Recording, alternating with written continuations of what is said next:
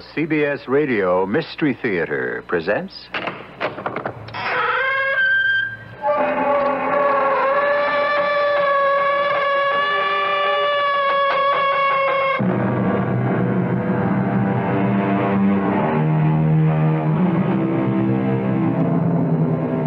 Come in. Welcome. I'm E.G. Marshall. Good jobs are hard to find. That's just as true today as it was back in 1890. So a man who's offered a rather substantial salary for doing what appears to be very little work is willing to put up with some eccentricities on the part of his employer, even if there's something frightening about working conditions. Now, Mr. Wilson, this is your office.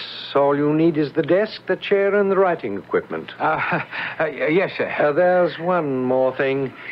You must remain right here in this office from 10 a.m. to 2 p.m. six days a week. Believe me, Miss Wilson, your very safety lies in your staying put here in this office. Step outside that door, and you step into terror.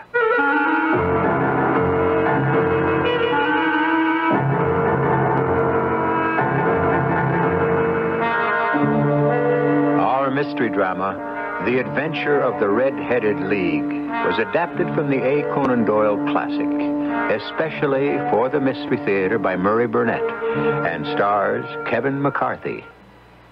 It is sponsored in part by Buick Motor Division and ARM, Allergy Relief Medicine. I'll be back shortly with Act One.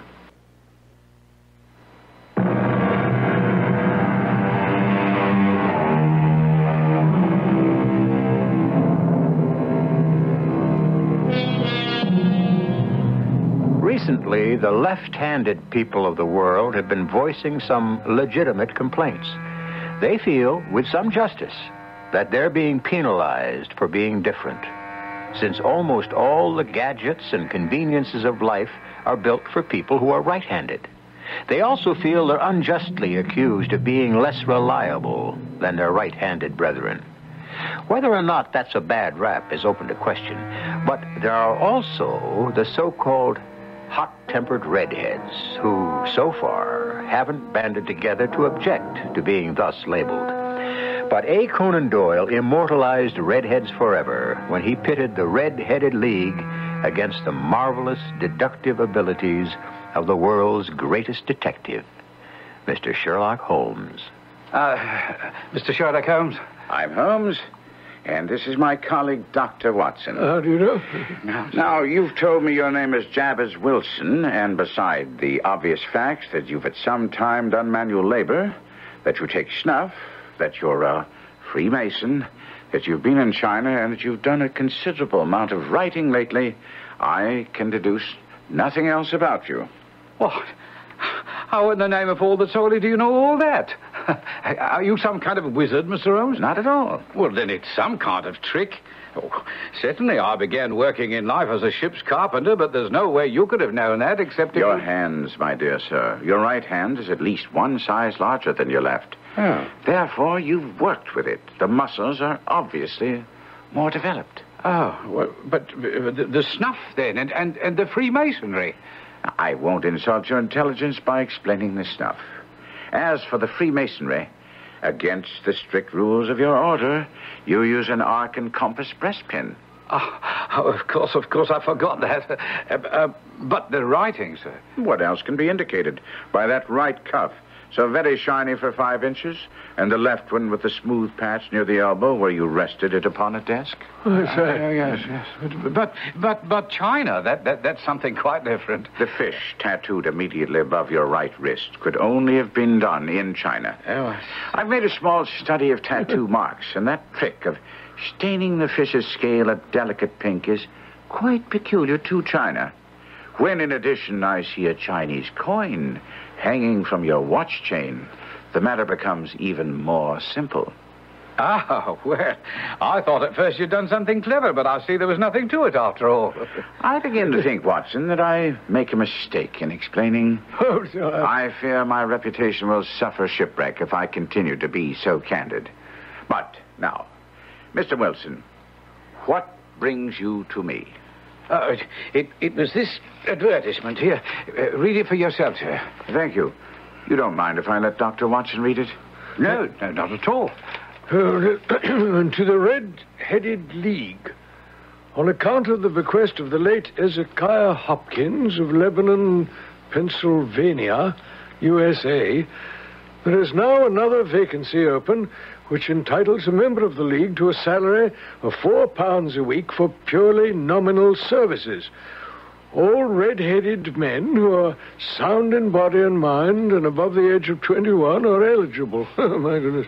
Apply in person Monday at 11 o'clock to Duncan Ross at the offices of the League, 7 Pope's Court, Fleet Street. what on earth does this mean, Holmes? well, it is a little off the beaten track and may well be the start of a very pretty puzzle. Mr. Wilson, tell us all about this strange advertisement and you. Watson, you, of course, noted the date of the newspaper. Yes, A- April the 27th, 1890, just two months ago. Excellent, excellent. Now, Mr. Wilson, Oh, well, um, I, I keep a small tobacconist shop at Coburg Square. It's not very large, and it doesn't do more than just give me a living, you know. But since I have a flat above the shop, I make out all right. But uh, I, I used to keep two assistants, but now I can only afford one. And that only because he's willing to work at half wages to get a place to live while he learns the business.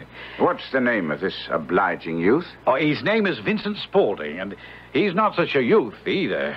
Oh, it's hard to say how old he is, but I tell you, Mr. Holmes, I, I couldn't have a sharper assistant. Never was such a fellow for photography. Snapping away all the time with a camera and then diving down into the cellar to develop his pictures. That's his main fault, but there's no vice in him, you know. As a matter of fact, it was he who called my attention to the advertisement. Ah. Can you remember how that happened? Oh, like it was yesterday, Mr. Holmes. I uh, was coming down from my living quarters into the shop when Vincent said, I wish to heaven, Mr. Wilson, that I was a red-headed man. Ah? Oh, wh- why on earth should you wish that? Why? Because here's another vacancy on the League of the Red-Headed Men. Oh? It's worth quite a bit of money to the man who gets it. If only my hair would change colour. It'd be a nice little post all ready for me to step into. Uh, well, well, what is this red-headed league? Oh, I'm that surprised you've never heard of it. With your head of red hair, you're eligible for one of the vacancies. Huh?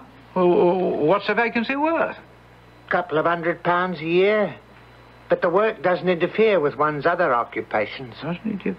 Well, t- t- tell me about it. Do you know how it got started? Well, as far as I know, the League was founded by an American millionaire, Ezekiah Hopkins, who was a real eccentric. He himself was red-headed, and he had a great sympathy for all red-headed men. We never married, had no relatives, and when he died, he left his entire fortune in the hands of trustees, with specific instructions to apply the interest only to provide easy jobs to men with red hair. Oh, but there'll be millions of red-headed men who'll apply. Oh, not as many as you might think. I believe if you cared to apply, you'd walk away with the job. Ah, but perhaps it's not worth your while to put yourself out for the sake of a few hundred pounds. It was certainly true that our visitor's hair was of a particularly brilliant shade of crimson. But to me, the whole business smacked of the ridiculous. I, I couldn't understand Holmes' keenness in asking Wilson for more details. Oh, Well, you see, Mr. Holmes, since Vincent Spaulding seemed to know so much about it, I figured he might be useful to have along. So I ordered him to put up the shutters for the day and to come along with me. All right, sirs. This way, if you please. Allow me to introduce myself. I'm Duncan Ross. Now, give me your hand, Mr. Wilson. Allow me to congratulate you. The vacancy is yours. Ah, what did I tell you? Are you a married man, Mr. Wilson? Do you have a family? Oh, well, neither, but does it make any difference? Oh, dear me, dear me. This is very serious indeed. I, I'm sorry to hear about your bachelorhood. But I, I, I don't must understand. explain that the fund wasn't only set up for providing pleasant jobs for red-headed men, but for the propagation and spread of redheads as well. You must see this puts me in an awkward position, most awkward. C- couldn't there possibly be an exception made, Mr. Ross? I mean, in this case where you have such a magnificent head of hair. Hmm. Yes, well, well, we might stretch a point in your case. Yes, we might. After all, it isn't as if you hated women. You very well may someday marry. Oh, well, I might, but... No, no, no, then uh, let's say no more about it. When can you start? Eh, that, that, that might be a problem. You see, I already have a business. Now, don't you worry about that, Mr. Wilson. I can look after that for you. Well, now, what what are the hours? 10 a.m. to 2 p.m., six days a week. Now, that might work out. My busiest time is early in the morning and the early evening. And I can handle the shop while you're away. Yes, it seems satisfactory. And uh, uh, the, the pay? Uh, four pounds a week. Ah, and the work? Uh, purely nominal. What does purely nominal mean? Well, you must be in this office the entire time. The will is very clear upon that point. I cannot make it strong enough. If you leave, you lose the position forever, Oh, I'm sure I'll be able to stay here the whole four hours. and no excuse will prevail. Neither sickness nor business. There's no such thing as an emergency. Oh, yes, sir, I understand. Well, I certainly hope you do, Mr. Wilson. I've already made one concession, but there'll be absolutely no others. I shall abide by the rule, but uh, what is the work? to copy the entire Encyclopedia Britannica. Now, there is the first volume on that press. You must find your own ink, pens, and blotting paper. We provide the table and the chair, and you agree to start tomorrow. Do we understand each other? Oh, yes, perfectly, Mr. Ross. And you may depend upon me being here promptly at 10 tomorrow. Famous old radio show started with these words Who knows what evil lurks in the hearts of men? The shadow knows. And indeed he did. But if he knew about the evil in the hearts of men, the world's greatest detective, Sherlock Holmes, knew better than anyone what evil lurked in the minds of men. I'll be back to hear what Sherlock Holmes unravels in the puzzle of the Red Headed League shortly.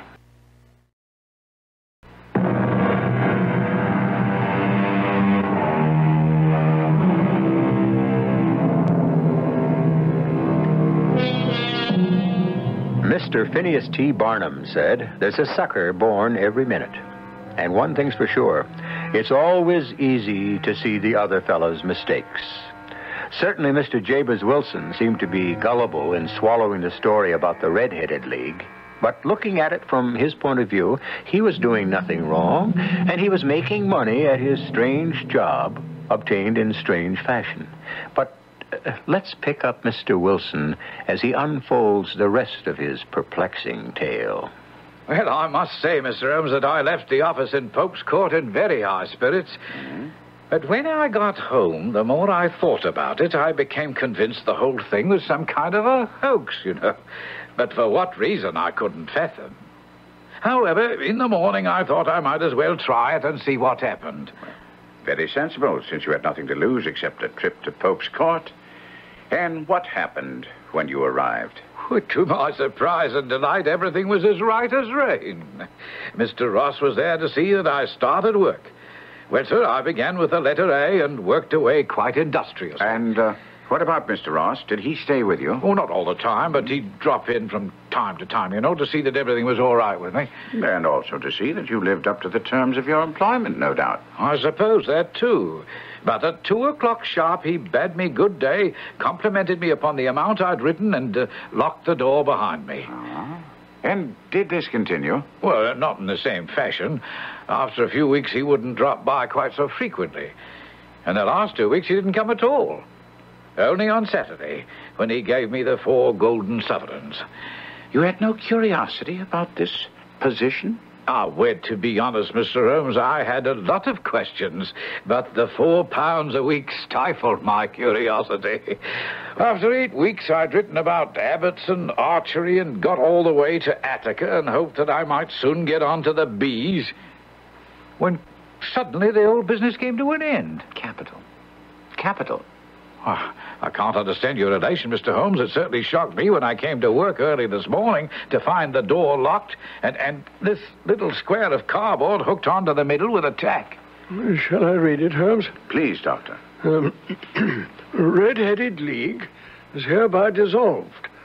There may be further communication, but it will be done by post, if at all. Hmm? Aha.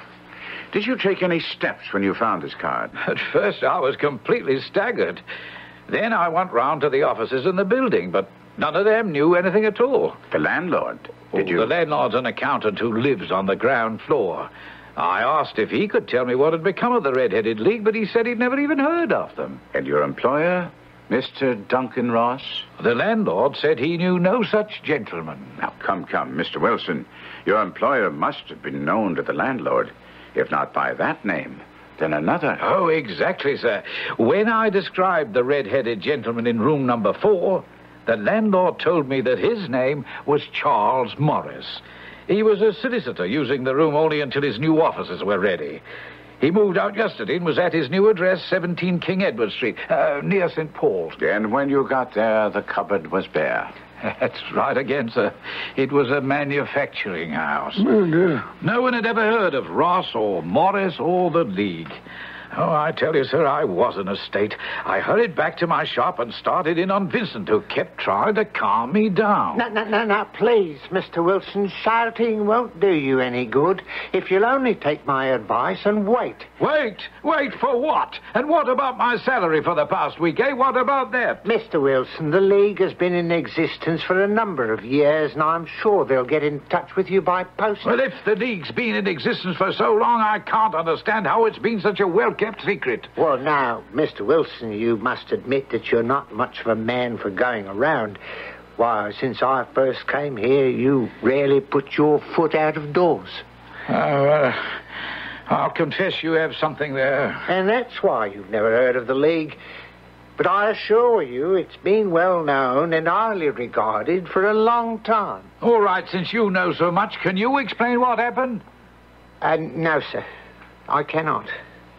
But I'm willing to wager that you will hear from them again. I just hope that it won't be what I fear. Eh? What's that? You remember when you got the job, there was some question about your marital status?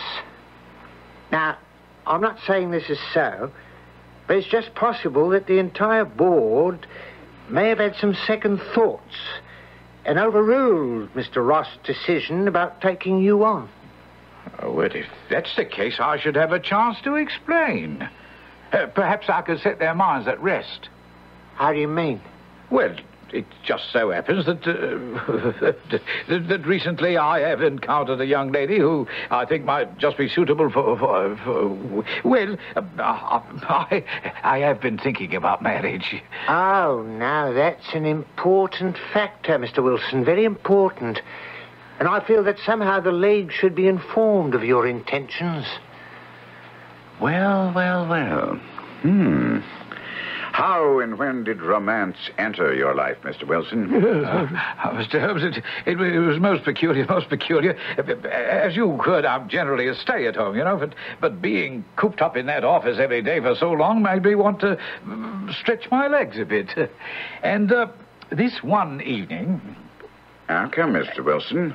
There's no need to be embarrassed about romance, eh, Watson? No, quite so, quite so.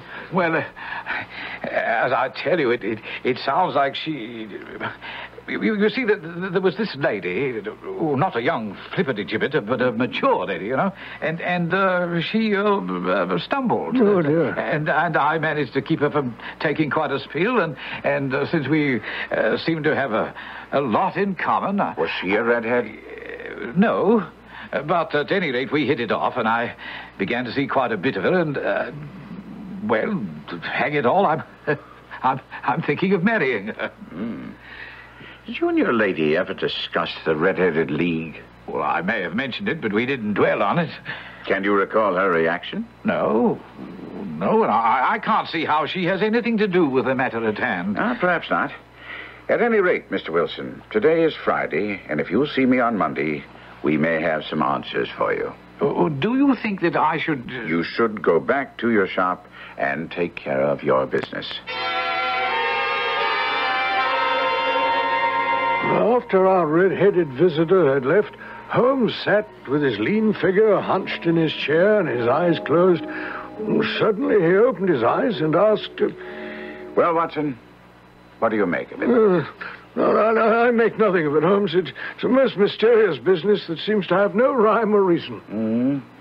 As a rule, the more bizarre a thing is, the less mysterious it proves to be. But I feel that this may very well be a serious matter. And if what I fear to be true is true, there's little time left. W- What do you propose to do? To smoke. It's quite a three pipe problem, and I beg that you don't speak to me for 50 minutes. With his thin knees drawn up to his hawk-like nose, and his eyes closed, and his black clay pipe thrusting out like the bill of some strange bird, my friend sat lost in thought. Suddenly, he sprang out of the chair, put his pipe down on the mantelpiece, and said, What do you think, my dear doctor? Could your patient spare you for a few hours? Oh, I, I have nothing to do today. Uh, my, my practice is never very absorbing. Good. Then come along. We traveled by underground as far as Aldersgate. And then a short walk took us to Saxe Coburg Square. It was a poky little shabby genteel place with four lines of dingy two-storied brick houses. We stood across the street from the corner house, on which one could read Jabez Wilson, tobacconist. My companion stood carefully scrutinizing the houses. Wh- What are you looking at, Holmes? The houses and shops and the names. Well, surely you know the name of Jabez Wilson. Now, this is a time for observation. We are, so to speak, in enemy country. Now, let's reconnoiter. Now, there's Mortimer's the pawnbrokers, a vegetarian restaurant, uh, the Coburg branch of the City and Suburban Bank, and McFarlane Brothers, architects. uh, yes. Have you any interest in architecture, Doctor? no, I, I can't say that I have, no. Well, that's a pity, because at this moment, that's our destination. I wondered what in the world Holmes wanted with a firm of architects. But as we approached the door, I was amazed to see the familiar figure of a Athelney Jones, the detective from Scotland Yard. My surprise was equaled by Jones. Eh, if it isn't Mr. Sherlock Holmes. What brings you to this part of London? I might ask the same question of you. Oh, purely a routine matter. A stupid attempt at robbery, although why in the world any criminal would want to break into McFarlane Brothers beats me. Ah, this was recent. No, I've just come down to tell the owners that our investigations haven't turned up anything and that we'd best forget it for a while. I'm curious. Could you give me uh, some details? Oh, it's really not in your line, Mr. Holmes. But here are the facts. A couple of months ago, the night watchman was making his usual rounds when he came upon two men trying to open the safe in the offices of McFarlane. Although there's no cash and no securities, in fact, nothing of any value. Ah, that does seem stupid. And what happened? They overpowered, bound, and gagged the watchman, left him in the outer room, and then left without taking anything because there was nothing missing from the safe in the morning. Was a thorough check made? Oh, come, come, Mr. Holmes. Every penny accounted for. Hmm. Well, since you came down here to report failure, I assume that the night watchman didn't give you much of a description of the robbers. No, it was the usual meaningless jobber. No good to us at all. One thing, though, they weren't amateurs. They used gloves so as not to leave fingerprints. That's very significant. To you, maybe, Mr. Holmes, but to us it's normal, the usual procedure of professionals. Uh, Quite so. Well, come along, Watson. Uh, There's nothing more that we can do uh, here. uh, but Holmes, what about your interest in ar- architecture and our visit to McFarlane? My dear doctor, we must remain flexible if we're to get to the bottom of the matter we're investigating. Oh, so yes, sir. let's say goodbye to Inspector Jones. Now, hold on a minute, Mr. Holmes. This, uh, matter you're investigating, Is it something that Scotland Yard might be interested in? It very well may be, Inspector, but before I call on you for help, I have to prove my theory beyond a shadow of a doubt.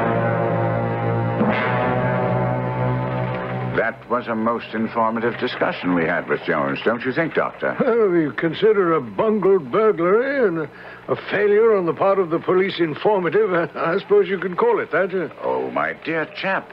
How can you listen and not hear? Well, I heard every word that was said. You don't think it instructive that an obvious pair of professional thieves who are careful enough to wear gloves select an unlikely target, such as an architect's office, as a likely place for a haul? Uh, everybody makes mistakes. Uh, very true, Watson, but mark you, they tie the men up, open the safe, and don't touch the cash. Well, because it wasn't worthwhile taking. Ah? I put it to you, Watson, that it was a very successful robbery. Oh, no. That the thieves got exactly what they wanted. And if what I suspect is true, the watchman is lucky to be alive. What in the world were they after? You know my methods, Watson. You have all the information I have. All that's necessary is for you to think. Uh, But, ah, here we are, outside our destination. well, why on earth are you beating the pavement with your stick? Part of my observations, Doctor. Now let's see the inside of Mr. Wilson's establishment. Uh, yes, gentlemen. What can I do for you? I'm sorry to bother you. We only wish to know how to get from here to the Strand. A third right, fourth left, and you're on the strand. Thank you. Smart fellow, that. In my judgment, he's the fourth smartest man in London. And for daring, I'm not sure that he hasn't a claim to be third. Uh, evidently, Mr. Wilson's assistant counts for a good deal in this affair of the Red-Headed League. I'm sure that you asked your way only in order to see him. Not him. Oh, well, what then? The knees of his trousers. Not only Watson, but all the millions of Sherlock Holmes fans are familiar with his methods. You, like Watson, have all the information. All you have to do is apply the science of deductive reasoning as expounded so often and so well by Sherlock Holmes, and you'll come up with the answer as to why Holmes was interested in the knees of Vincent Spaulding's trousers. You'll find out whether you are right or not when I return shortly with Act Three.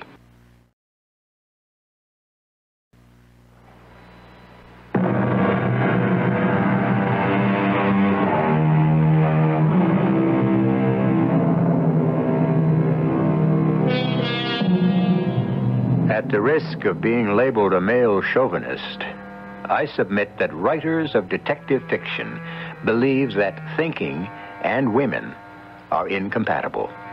To prove my thesis, let me point out that the three greatest thinking detectives of all times, Sherlock Holmes, Nero Wolfe, and Arsène Lupin, avoided involvements with the opposite sex. They must have believed that romantic involvement would, in some way, affect their judgment. At any rate, in today's story, Holmes is concentrating on red-headed males, and we find him and Dr. Watson in their Baker Street flat. Holmes had been poring over a map of London streets for some time, and also had a back issue of the Times open to the financial page when he finally folded the map, looked up, and said with a sigh of satisfaction, I think there's no chance of my being wrong now. Oh, I'm, I'm- I'm sure you're right, but uh, I'm blessed if I know what you're right about. Can't be the visitors I'm expecting, but come in. Vincent Spaulding was right, Mr. Holmes, and so were you. I've heard from the Red-Headed League. Indeed. Yeah, there's to be a weekend meeting starting tonight at the Cork and Bottle in Surrey. Surrey? Uh, reservations have been made for me, and then they'll discuss my problem. Well, what do you think of that, Mr. Holmes? How did they get in touch with you? Well, by post, as they said they would. I, I'll brought the letter with me. Would you care to see it? No, I don't think that's necessary. But, but I've come to you for advice, and, and here you Uh, are. Mr. Wilson, I think that I can assure you that I will have the answers you want by the end of this weekend. But what about this note? Should should I go or not? I insist that you go. But if you want the answer to your problems, don't expect to find it in Surrey. After Holmes had persuaded a reluctant Jabez Wilson to keep his weekend rendezvous in Surrey, and he'd rushed off, I looked at Holmes. Holmes, I'll confess that this nonsensical charade of the red-headed league seems to me to be just a silly kind of game. On the contrary, my dear Watson, it's serious. Very serious indeed. Oh, dear. You characterize this as a charade, and your instincts are always good. The whole device used to get our friend Wilson away from his shop for four hours a day was staged and quite brilliant. But why in the world would anyone want that? There's nothing in that shop or house of any value. Think, Doctor. Remember, I observed that the knees of Vincent Spaulding's trousers were covered with dust and badly worn? Yes. Add to that his habit of rushing down to the cellar at every opportunity. Ah, of course. Buried treasure. you're an incurable romantic, Doctor, but at that, you're not too far off the mark. Ah, and that, I think, signals the arrival of our companions for this evening's hunt. Will you be kind enough, Doctor? Yes. Go- go- Come in, gentlemen. Now our party is complete, Watson. I think you know Inspector Jones of Scotland Yard. Let me introduce you to Mr. Merriweather, who will accompany us tonight. How do you do? We're hunting in couples again, Doctor, you see. Our friend Holmes is a wonderful man for starting the chase. All he wants is an old dog to help him do the running down. I hope we don't find a wild goose at the end of our chase. Bankers don't place too much trust in theories and fantasies, Inspector. We're interested only in cold facts. And cold cash also, eh, Mr. Merriweather? Well, that's why I allowed the inspector to persuade me into coming. Although it's the first Saturday night in 27 years I haven't played bridge. I miss that, Mr. Holmes. Well, I think you'll find you're playing for a higher stake tonight than you've ever done before. And that the play will be more exciting. Uh, and what do you think the stakes are? Thirty thousand pounds. Uh, how do you arrive at that figure? Isn't it true that some months ago you had occasion to strengthen the resources of your branch of the City and Suburban Bank? And according to the Times here, you borrowed 30,000 Napoleons from the Bank of France? No, that's fairly common knowledge, sir. As a matter of fact, there's been some discussion among our directors about the wisdom of keeping so much bullion on a single branch. A discussion which was very well justified. I have reason to believe that an attempt will be made upon that bullion this very night. No, oh, that's ridiculous. Hmm? We've the best protective service in the City of London. The cases containing the bullion have never been unpacked. We're absolutely immune to any attempt at such a theft. I beg to differ, Mr. Merriweather. Come in. What's this? A telegram. Now, give it here, lad. And this is for you.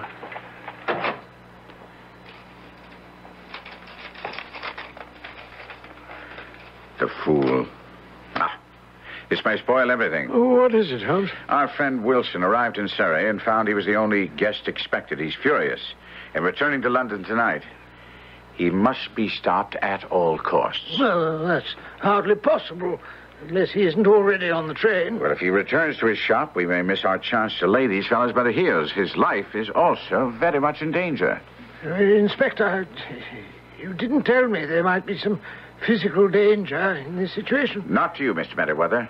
They don't know you, but if this Vincent Spaulding is the man I believe him to be, murder isn't beyond him. And if Jabez Wilson interrupts those plans, Spaulding would think nothing of killing him. Well, here, let's see. From Surrey. Earliest train out.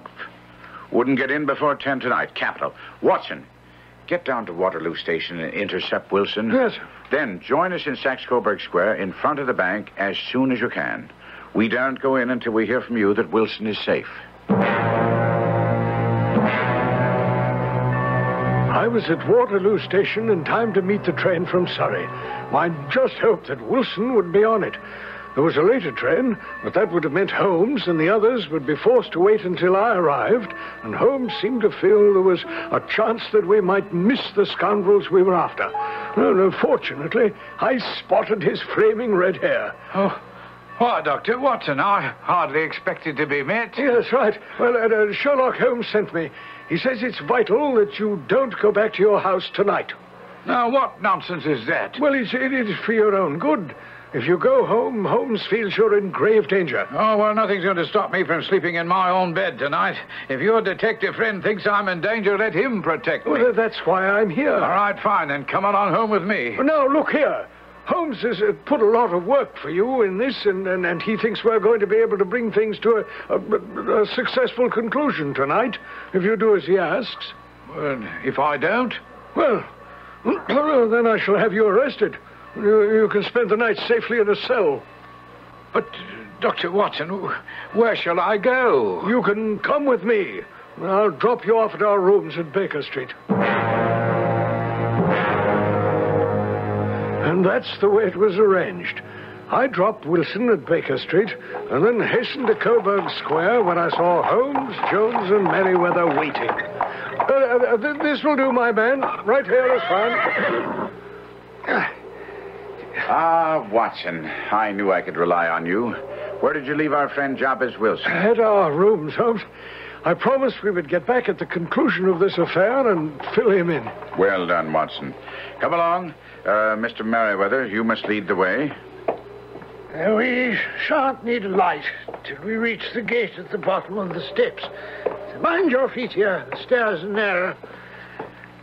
Ah, Inspector, I think it's time for you to light your lantern. We can use it down here to open the gate. We shall certainly need it in the cellar. Mr. Merriweather conducted us down a dark, earth-smelling passage into a huge paved vault or cellar, which was piled all around with crates and massive boxes. Would you mind holding the lantern up for a moment so that I can get a better view of the ceiling, Mr. Merriweather? Well, as you wish, Mr. Holmes. Hmm. You're not very vulnerable from above, at any rate. Nor from below. Ah, ah, Oh, dearie. It sounds quite hollow. I really must ask you to be more quiet. Now, you've already imperiled the success of our whole expedition. Have the goodness to sit down upon one of those boxes and do not interfere.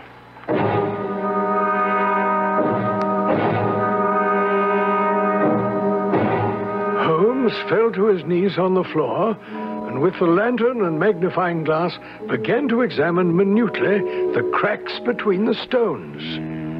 I suspect we have at least an hour's wait. When they start, they won't lose a minute, however. But the sooner they complete their work, the more time they'll have for their escape. Mm-hmm. And they'll need a great deal of time, if your theories are correct, Mr. Holmes. The crate on which I sit contains 2,000 Napoleons packed between layers of lead foil. There are 15 of these crates altogether. How you imagine these so clever thieves are going to transport them is beyond me. That problem concerns me, too, but I'm afraid that we shan't have the answer until we've bagged the men themselves. In order to make sure that there'll be no slip up, I must ask you, Mr. Merriweather, to put the screen over that lantern. And sit in the dark. Hmm, I'm afraid so. Our thieves' plans have gone so far we dare not risk a light. I suggest you conceal yourself behind that packing case, Mr. Merriweather. Watson and Jones and I will also find places of concealment. And, Doctor, if the men fire, have no compunction about shooting them down. If there's anyone to shoot at, this whole fantastic scheme isn't the product of your fevered imagination. Fortunately, I do my work for pleasure alone, Mr. Merriweather. Let me use this part of our wait by asking you some questions. Mm, as you wish. Why would anyone pay a man four pounds a week to copy the Encyclopedia Britannica? Oh, unless he were demented, I cannot imagine. Or unless he wanted to be sure that man wouldn't interfere with the work he had in mind.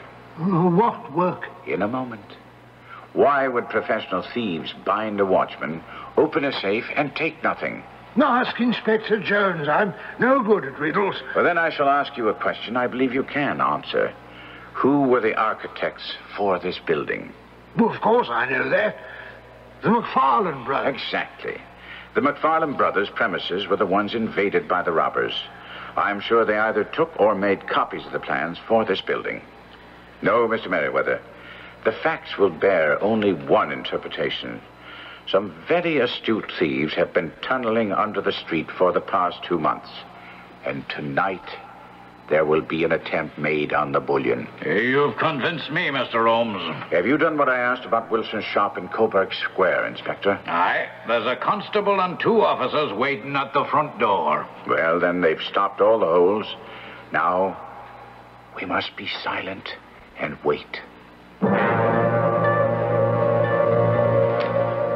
I placed my revolver, cocked, on the top of the wooden case behind which I crouched. We waited there in the cold, dank air of the vault, with only the smell of hot metal to assure us that the lamp was still there, ready to flash on at a moment's notice. Suddenly, my eyes caught the glint of light.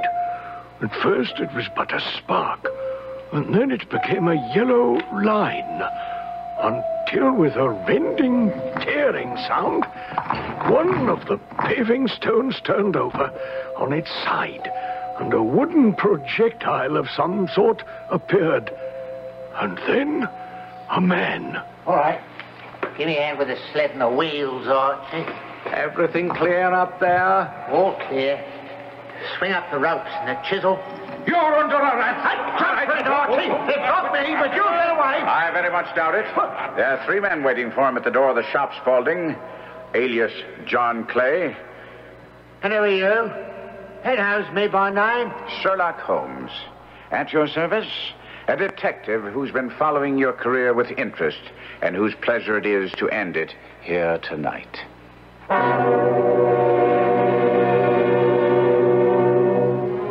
The Adventure of the Red-Headed League was written back in 1890.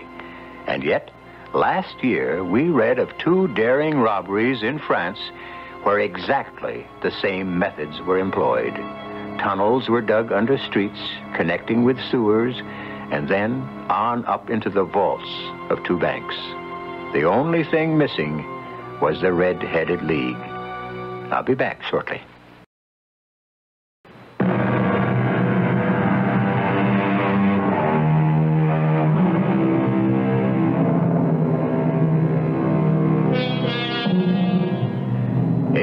Conan Doyle was never noted as a man with a great sense of humor, but that's only because he rarely employed it in his writing. As a matter of fact, he had a keen wit. The proof? In his first year of independent medical practice, before he started writing, his earnings were exactly 154 pounds. When he filed his tax return, he showed that he owed no tax at all because of his earnings. The authorities returned his form with the words, most unsatisfactory, scrawled across it. He sent it back with his own comment, which was, I entirely agree. Our cast included Kevin McCarthy, Court Benson, Robert Dryden, and Ian Martin. The entire production was under the direction of Himan Brown. Radio Mystery Theater was sponsored in part by General Electric Citizen Band radios. This is E.G. Marshall inviting you to return to our Mystery Theater for another adventure in the macabre. Until next time, pleasant dreams.